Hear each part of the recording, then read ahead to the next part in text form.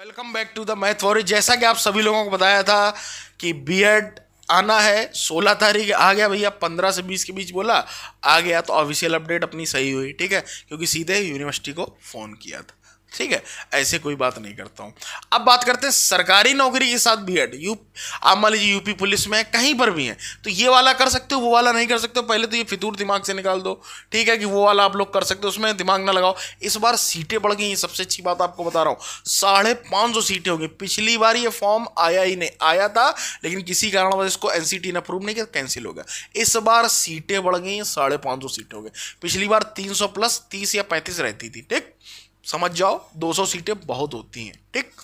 अब साढ़े पाँच सौ सीटें होंगे, अब समझते हैं इसकी एलिजिबिलिटी सब कुछ।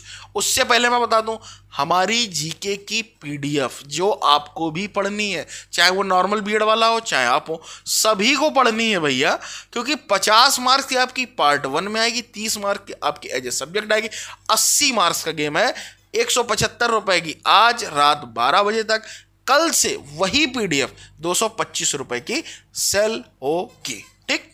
ये हो गई बात।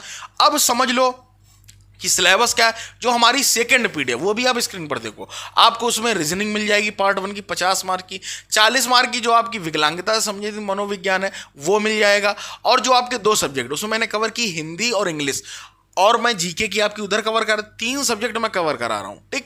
पाँच सब्जेक्ट में से तीन। और जो लोग मैथ साइंस करना चाहे, उनका दिमाग से फितूर निकाल दो।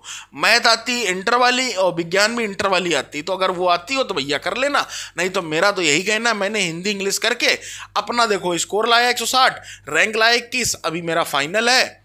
खत्म बात। नंबर लाओ, कहीं से भी लाओ, कुछ भी करो। कोई भी दो सब्जेक्ट आप ले सकते हो, सबसे अच्छी बात है, आपका ग्रेजुएशन से कोई लेना नहीं। ये भी दिमाग से फितूर, निकाल दो बार बार बता रहा हूँ, अगर रखना हो तो फिर अपना खराब करना पेपर वो आपकी इच्छा है, ठीक? अब समझते हैं इसकी वीडियो के पूरा नोटिफिकेशन किस तरीके से क्या है, उसको समझ लो। दस मार्क्स मिलेंगे अधिक, जो विकलांगता या तो है ठीक या उनके माता पिता उनको दस मार्क एडिशनल मिलेंगे।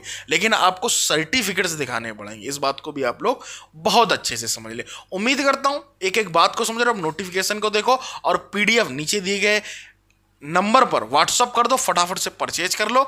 बहुत सारी पीडीएफ्स ऑलरेडी सेल हो चुकी हैं और जल्दी आपको सेकंड पीडीएफ भी विद इन टू या फोर डेज़ में आपको वो देखने को तो आप देख सकते हैं बीएड स्पेशल का आप अपनी स्क्रीन पर देखिए, दो हज़ार इस बार सीटें बढ़ गई, सबसे बड़ी खुशखबरी है दोस्तों। ठीक है, हर बार साढ़े तीन सौ रहती पिछली बार ये हुआ नहीं था। ठीक है, सीटें बढ़ के आ गई, बहुत अच्छी बात है। आप ये देखिएगा, सोलह मई, पंद्रह जून, ठीक है? ये फॉर्म की डेट होगी, चौबीस जून तक आप विलंब शुल्क के साथ कर सकते हैं। पच्चीस जून से तीस जून तक आप करेक्शन कर सकते हैं। और 8 जुलाई को आपका दोस्तों एडमिट कार्ड आ जाएगा। 22 जुलाई को एग्ज़ाम डेट है, उस दिन पक्का। अगर मैं स्क्रीन पर सही से देखूँ, अभी तुरंत कैलेंडर ही देख लेता हूँ मैं। ठीक है तो संडे ही होगा। हंड्रेड एंड वन परसेंट वैसे संडे रहता बट नहीं है सैटरडे ठीक है सैटरडे को एग्ज़ाम है। ठीक है? और 31 जुलाई को विश्वविद्यालय की वेबसाइट पर आपका रिज़ल्ट आएगा। सेकेंड मतलब अगस्त से आपका जो है, प्रवेश प्रारंभ हो जाएगा। ठीक है? अब समझते हैं चीज़ों को यहाँ पर आइए। बीएड स्पेशल की ये देखिएगा, सीटें बढ़ गई। 500 प्लस 50 हो गई। हर बार ये 300 प्लस 35 रहती 300 प्लस 30 रहती थी, ऐसा कुछ था। ठीक है? बढ़ चुकी हैं। बहुत अच्छे से समझ लो। ठीक, ये खुशखबरी की बात है। सीटें बढ़ गई चांसेस बढ़ गए। ठीक है?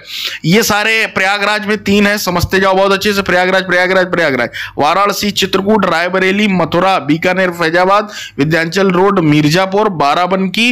ये सारे आपके एग्ज़ाम सेंटर दस हो गए। और ये जो पीडीएफ है दोस्तों, ये टेलीग्राम में डाल दूँगा, वहाँ से आप अपना आराम से पढ़ भी सकते हो अच्छे से। उसी के आधार पर कमी या बढ़ोतरी हो सकती है, वो अलग मैटर है, ठीक है? अब समझिएगा क्या है, किस तरीके से क्या करना उसको समझो बहुत। है बीएड प्रवेश परीक्षा के कार्यक्रम में आप समझिएगा इसकी एलिजिबिलिटी को बहुत अच्छे से सुनिएगा। विज्ञान, सामाजिक विज्ञान की स्नातक या परास्नातक अथवा समकक्ष उपाधि में कम से कम पचास अंक पाने वाले बढ़ती प्राप्त होंगे। इसके अतिरिक्त इंजीनियरिंग या तकनीकी, जिसमें विज्ञान, गणित बीटेक और बी वाले, वो भी कर सकते हैं। कोई दिक्कत वाली बात नहीं, ठीक? बी और दूसरा पॉइंट देखिएगा। बीएड कार्यक्रम में प्रवेश हेतु वही अभ्यर्थी प्राप्त होगी। या तो किसी मान्यता प्राप्त विश्वविद्यालय से अंकीकृत दो विषयों के साथ स्नातक उत्तीर्ण हो। तो भैया, ये बताओ, तुम लोग नहीं हो गए? Hindi, English, physics, chemistry botany, geology, math गृह विज्ञान, इतिहास, कोई भी दो सब्जेक्ट हो और तुम ग्रेजुएशन पास हो, ठीक? अब समझो। और देखिए, आर्ता प्रवेश प्रारंभ तिथि का पूर्ण होनी चाहिए मतलब आप पास होने चाहिए, नहीं कि मतलब आप पास नहीं है तो नहीं हो पाएँगे, ठीक है? सब कुछ उन्होंने बता दिया बहुत अच्छे से। ये उन्होंने बता दिया कि इस तरीके से क्रेडिट स्कोर क्रेडिट ढाई साल का होता है, ठीक है? नॉर्मल बीट दो साल का होता है। हमें लग रहा है दुनिया हाँ दो, दो वर्ष इसका भी दो ही कर दिया हमें लग रहा है इन्होंने। ठीक है ये देखिए दो वर्ष कर दिया। दो वर्ष ही का है। न्यूनतम अवधि दो वर्ष अधिकतम चार वर्ष ठीक? और ये क्रेडिट स्कोर है क्रेडिट स्कोर ये सब्जेक्ट पर होता है ठीक? अब समझते जाओ बी कार्यक्रम अंकों के आधार पर किया जाएगा जो आपके मतलब मार्क्स आएँगे जो डेढ़ के आसपास ही आएँगे तभी आपका सिलेक्शन हुआ नॉर्मल बी में मैं खुद ही रैंक होल्डर हूँ इक्कीस तो आप समझ सकते हैं ठीक? ये आरक्षण का भी दिया गया चालीस प्रतिशत या इससे अधिक विकलांगता वाले जो प्रस्तुत करना होगा अगर आप हैं तो। समझिएगा बात को। अगर आप हैं तो ये सर्टिफिकेट आपका लगेगा, चालीस प्रतिशत से अधिक होना चाहिए, ठीक? अब देखिए, अभ्यर्थी को केवल मोड ऑनलाइन होगा, ठीक है, साक्षात्कार होगा, वो परामर्श शुल्क दिया गया पाँच सौ और तीन सौ रुपए।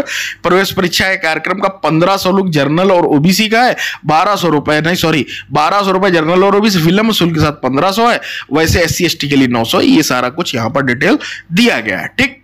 ये फॉर्मेट दिया है, किस तरीके से आपको फॉर्म भरना है, प्रवेश परीक्षा की तिथि व परीक्षा फॉर्म ये सब कुछ दिखाया गया है। ठीक। अब प्रवेश परीक्षा पाठ्यक्रम क्या दिया गया? देखिए, पचास नंबर की रीजनिंग है, पचास नंबर की जीके है। पार्ट वन में, पार्ट टू में आपका क्या होगा? दिव्यांग बच्चों के मनोविज्ञान को एवं समस्याओं को समझना यह है चालीस प्रतिशत का रिचार्ज और दो शिक्षण विषय हो गए पूरा नॉर्मल बीएड के तरीके सिलेबस वहाँ पर टीचिंग एप्टीट्यूड चालीस मार्क की आ जाती, यहाँ पर आ जाता है दिव्यांग बच्चों के मनोविज्ञान और उससे समझना, ठीक है? तो ये सारी चीज़ें दी गई हैं तो वो आपको बता दिया गया। और देखिएगा, किन्हीं दो सब्जेक्ट ये बहुत इंपॉर्टेंट बात है।